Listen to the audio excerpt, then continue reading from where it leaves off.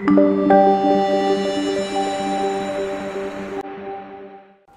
kính chào quý vị khán giả. Bảo Trân rất hân hạnh được đồng hành và gửi tới quý vị những thông tin cập nhật trên kênh YouTube của báo Pháp luật Thành phố Hồ Chí Minh. Ngay sau đây là những nội dung chi tiết. Từ ngày 3 đến ngày 12 tháng 1, Tòa án Nhân dân thành phố Hà Nội xét xử 38 bị cáo trong vụ Việt Á. Ngoài hình phạt đối với các bị cáo, Hội đồng xét xử cũng đưa ra các quyết định liên quan đến phần dân sự. Theo đó, Hội đồng xét xử xác định số tiền Việt Á hưởng lợi bất chính từ việc bán test xét nghiệm là 1.235 tỷ đồng. Hội đồng xét xử buộc công ty Việt Á nộp toàn bộ số tiền trên sau khi khấu trừ các khoản đã đưa hối lộ và những khoản liên quan để xung công quỹ. Khoản tiền hưởng lợi bất chính này đến từ việc nâng khống giá thành vượt quá nhiều lần do bị cáo Phan Quốc Việt, Chủ tịch kiêm Tổng Giám đốc Công ty Việt Á toàn quyền quyết định sử dụng. Ngoài ra, hội đồng xét xử cũng quyết định tiếp tục phong tỏa 52 sổ tiết kiệm đứng tên mẹ bị cáo Việt và hai sổ tiết kiệm đứng tên con bị cáo Việt. Hội đồng xét xử xác định số tiền trong các sổ tiết kiệm này có được từ việc bán test xét nghiệm, do đó phải nộp lại để xung công quỹ. Tại phiên tòa, bị cáo Phan Quốc Việt xác nhận có 3 tài khoản ngân hàng, 55 sổ tiết kiệm đứng tên mình với tổng số tiền hơn 321 tỷ đồng bị phong tỏa. Ngoài ra, còn có 52 sổ tiết kiệm đứng tên mẹ bị cáo Việt, tổng số tiền 142 tỷ đồng và hai sổ tiết kiệm đứng tên con bị cáo trị giá 20 tỷ đồng cũng bị phong tỏa. Trả lời hội đồng xét xử, ông Việt thừa nhận hai sổ tiết kiệm đứng tên con là tiền của bản thân ông, nhưng với các số tiền tiết kiệm đứng tên mẹ, ông Việt nói đây là số tiền bị cáo trả nợ cho mẹ. Khi hội đồng xét xử hỏi cơ sở nào để xác định số tiền 142 tỷ đồng trong các số tiền tiết kiệm là của mẹ bị cáo,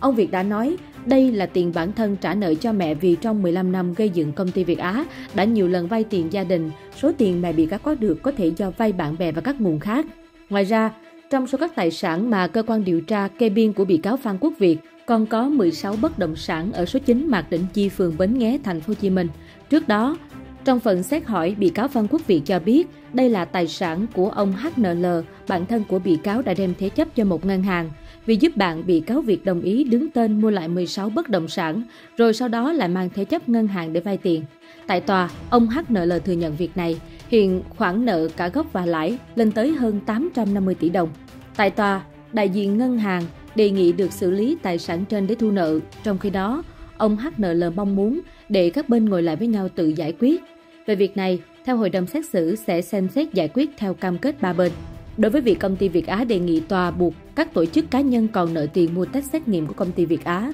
phải thanh toán, hội đồng xét xử quyết định các bên thỏa thuận giải quyết việc thanh toán theo giá test xét nghiệm được cơ quan điều tra xác định trong vụ án này. Nếu có tranh chấp, không thỏa thuận được thì các bên có thể khởi kiện dân sự ở các vụ án khác. Hội đồng xét xử tuyên phạt bị cáo Phan Quốc Việt, Chủ tịch Hội đồng Quản trị kiêm Tổng Giám đốc Công ty Việt Á 14 năm tù về tội vi phạm quy định đấu thầu gây hậu quả nghiêm trọng, 15 năm tù về tội đưa hối lộ, tổng hình phạt là 29 năm tù. Bị cáo Vũ Đình Hiệp, Phó Tổng Giám đốc Việt Á bị xử phạt 7 năm tù tội vi phạm quy định đấu thầu, 8 năm tù tội đưa hối lộ, tổng hợp hình phạt là 15 năm tù. Theo hội đồng xét xử, Phan Quốc Việt, Tổng Giám đốc Công ty Việt Á đã cấu kết với Trịnh Thanh Hùng, Phó Vụ trưởng Vụ Khoa học Công nghệ các ngành kinh tế kỹ thuật, Bộ Khoa học và Công nghệ, để Thanh Hùng tác động Chu Ngọc Anh, Phạm Công Tạc và các cá nhân đơn vị liên quan quyết định cho công ty Việt Á được phối hợp thực hiện đề tài trái pháp luật. Với mục đích được sản xuất, bán test xét nghiệm thu lợi bất chính, Việt đã tiếp tục cấu kết với Trịnh Thanh Hùng, Nguyễn Huỳnh, Nguyễn Văn Trịnh, Nguyễn Thanh Long và các bị cáo khác thực hiện nhiều hành vi sai phạm giúp công ty Việt Á được kiểm định, được nghiệm thu giai đoạn 1 của đề tài, lập hồ sơ gửi Bộ Y tế xin cấp số đăng ký lưu hành tạm thời, lưu hành chính thức. Để thuận lợi cho việc bán sản phẩm test xét nghiệm trên cả nước, việc cấu kết với các bị cáo thuộc Bộ Khoa học và Công nghệ để được đề nghị tặng bằng khen, đánh bóng hình ảnh, thương hiệu cho test xét nghiệm, cấu kết với các bị cáo thuộc Bộ Y tế để được hiệp thương giá, theo giá đã được nâng khống, chậm kiểm tra, hiệp thương để tạo mặt bằng giá test xét nghiệm, giới thiệu với lãnh đạo các tỉnh, thành phố đưa máy móc thiết bị về hỗ trợ phòng chống dịch và bán thương mại test xét nghiệm thu lợi bất chính. Để được các bị cáo can thiệp giúp đỡ như nêu trên, Phan Quốc Việt đã thỏa thuận ăn chia, đưa tiền hối lộ, cảm ơn nhiều lần với tổng số tiền là 3,45 triệu USD và 4 tỷ đồng. Như vậy, Phan Quốc Việt phải chịu trách nhiệm hình sự về tổng số tiền đưa hối lộ là 106 tỷ đồng. Hành vi của Phan Quốc Việt đã gây thiệt hại và được hưởng lợi số tiền 1.235 tỷ đồng. Trong đó, thiệt hại cho nhà nước từ hành vi vi phạm đấu thầu là 431 tỷ đồng. Bị cáo Vũ Đình Hiệp, Phó Tổng Giám đốc Công ty Việt Á, trực tiếp hoặc cùng Phan Quốc Việt thông đồng với lãnh đạo, nhân viên các sở y tế, công lập, đứng trước, test xét nghiệm, trang thiết bị y tế, rồi hợp thức hồ sơ đấu thầu để thanh quyết toán đơn giá cho công ty Việt Á, công ty trung gian đưa ra.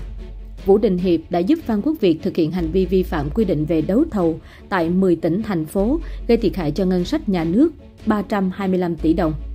Ngoài ra, thực hiện chỉ đạo của Phan Quốc Việt, Hiệp đã thỏa thuận đưa hối lộ để công ty Việt Á được ưu tiên cung cấp test xét nghiệm và được tạo điều kiện ký hợp đồng thanh toán. Tổng cộng, Vũ Đình Hiệp đã đưa hối lộ số tiền 32 tỷ đồng. Theo nhận định của hội đồng xét xử, hành vi của các bị cáo trong vụ án này là những mắt xích, phụ trách từng công việc, phần việc khác nhau, không có sự bàn bạc từ trước, nhưng đã liên đới gây thiệt hại cho nhà nước với số tiền đặc biệt lớn là hơn 400 tỷ đồng.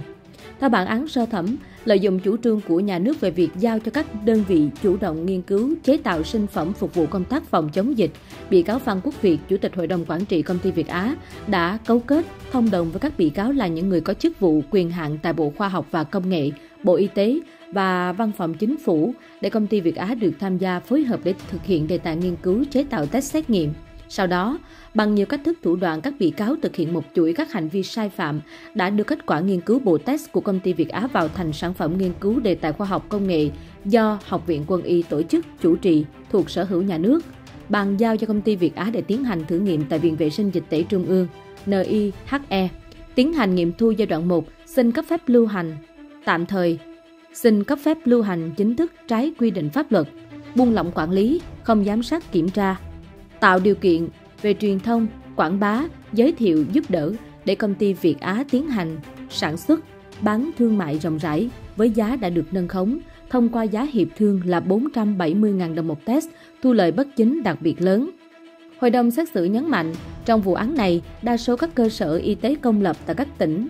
đều đề nghị hoặc gợi ý ứng hàng sử dụng trước do tính cấp bách của dịch bệnh, sau đó mới tiến hành các thủ tục đấu thầu, hợp thức cho việc đã ứng hàng. Trong đó, công ty Việt Á và các đơn vị y tế công lập đã được xác định tại 19 địa phương có hành vi ứng hàng sử dụng trước, sau đó hợp thức thủ tục đấu thầu để thanh toán cho Việt Á hoặc các đơn vị trung gian, gây thiệt hại cho ngân sách nhà nước tổng cộng hơn 430 tỷ đồng. Trong vụ án này, Phan Quốc Việt đã cấu kết với Trịnh Thanh Hùng, cựu phó vụ trưởng vụ khoa học công nghệ và các ngành kinh tế kỹ thuật Bộ Khoa học và Công nghệ, để Hùng tác động Chu Ngọc Anh, cựu bộ trưởng, Phạm Công Tạc, cựu thứ trưởng Bộ Khoa học và Công nghệ và các cá nhân đơn vị có liên quan quyết định cho công ty Việt Á được phối hợp thực hiện đề tài trái pháp luật. Với mục đích được sản xuất, bán bộ test xét nghiệm thu lợi bất chính, Việt đã tiếp tục cấu kết với các bị cáo khác thực hiện nhiều hành vi sai phạm, giúp công ty Việt Á được kiểm định, được nghiệm thu giai đoạn 1 của đề tài, lập hồ sơ gửi Bộ Y tế xin cấp số đăng ký lưu hành tạm thời, lưu hành chính thức để thuận lợi cho việc bán sản phẩm bộ test xét nghiệm trên cả nước. Việc cấu kết với các bị cáo thuộc Bộ Khoa học và Công nghệ để được đề nghị tặng bằng khen, đánh bóng hình ảnh thương hiệu cho bộ test xét nghiệm. Cấu kết với các bị cáo thuộc Bộ Y tế để được hiệp thương giá đã được nâng khống, chậm kiểm tra giá hiệp thương để tạo mặt bằng bộ giá test xét nghiệm, giới thiệu với lãnh đạo các tỉnh, thành phố đưa máy móc thiết bị về hỗ trợ phòng chống dịch và bán thương mại bộ test xét nghiệm thu lợi bất chính.